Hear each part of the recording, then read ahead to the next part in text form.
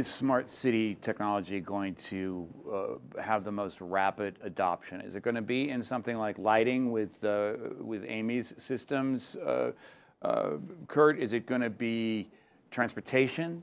Is it going to be um, data distribution, communications, for instance? Uh, is it is it going to be um, how your cell phone app connects to city services? You can hit your cell phone and yell at City Hall. What is it? I think there'll be multiple facets. I think our focus of sort of making sure there's a uh, ubiquitous infrastructure uh, of compute capability for that data, you know, to transport over and to allow for great solutions to be able to connect together um, are, are clearly going to enable that. Um, I think it's going to be required for economic development. The startups expect, expect that in order to be able to facilitate um, that. You need it from an education perspective to move, you know, to move things forward.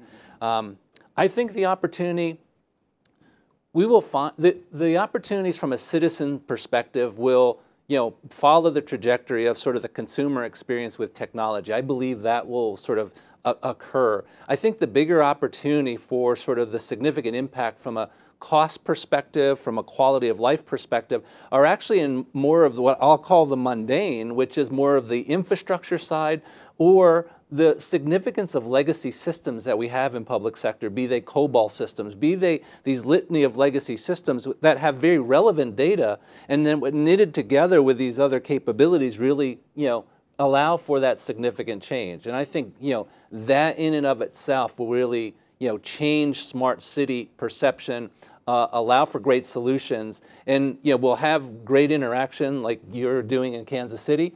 Um, but it's sort of the the big impact and sort of the cost is the maintenance on all those legacy environments and sort of how do we how do we get into you know those Medicaid systems you know those those health and human services that really impact the quality of life for individuals I think those will really uh, really drive a transformation in the quality of life that will have impact.